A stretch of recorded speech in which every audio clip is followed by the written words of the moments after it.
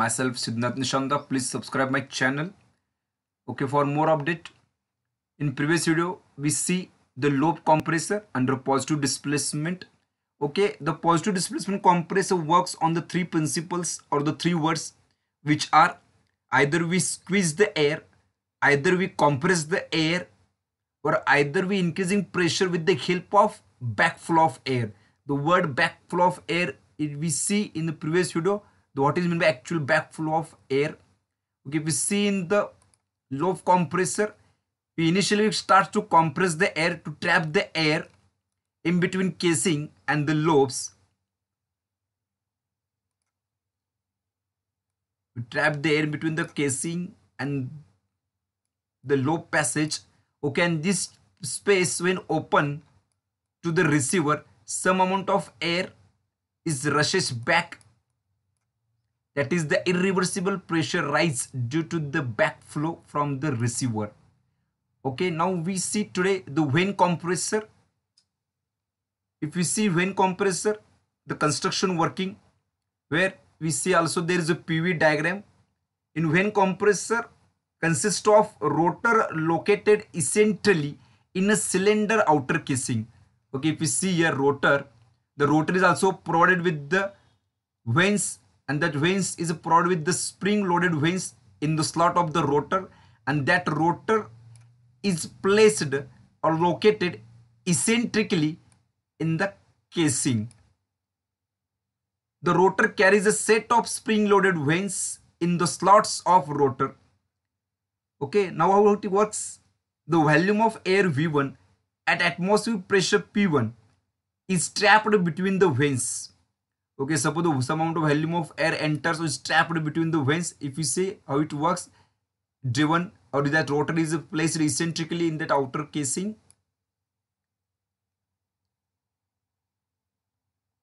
As the rotation proceeds the trapped air is first compressed reversibly from the condition okay 1 to d okay. Some amount of the further movement is rotor starts rotate starts reversible compression. That is we told that the reducing the volume that is called as a positive displacement compression. That is the reducing volume. Okay further that channel is open to the receiver.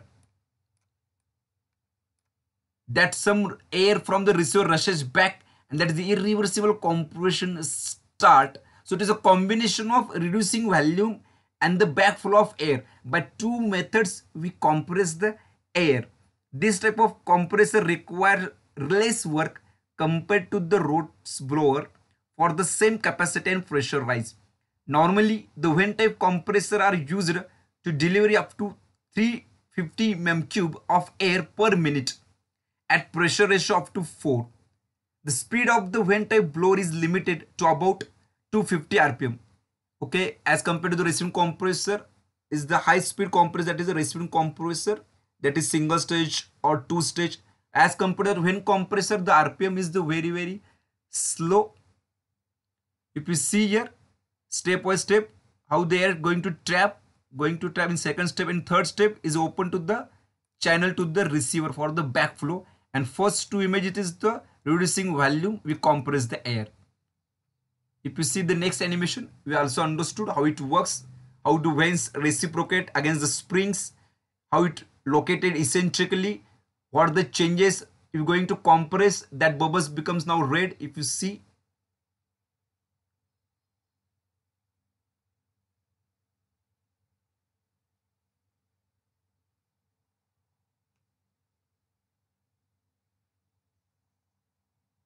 okay.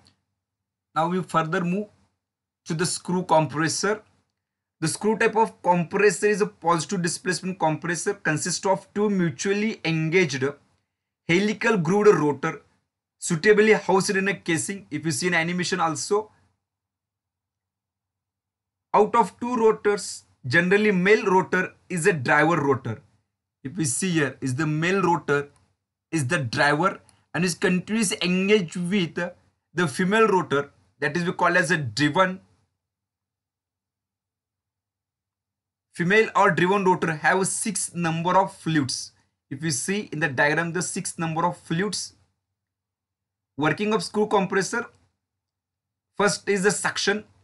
As the rotors begin to unmesh begin to unmesh a void is created on both the male side and the female side.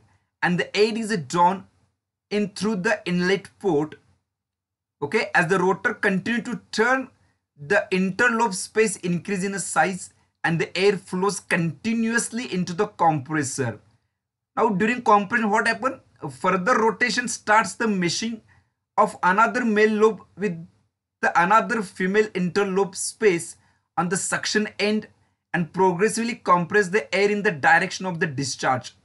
If you see in the diagram, there is when inlet air, air come inside the chamber, this air starts to squeeze.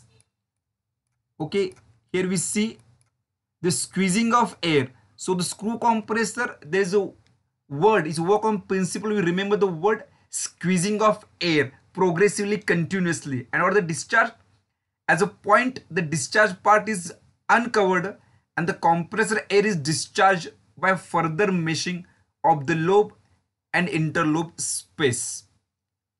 Okay. Now we move further for the centrifugal compressor. Okay, this is one type of compressor where we see the air in axially and moves radially out.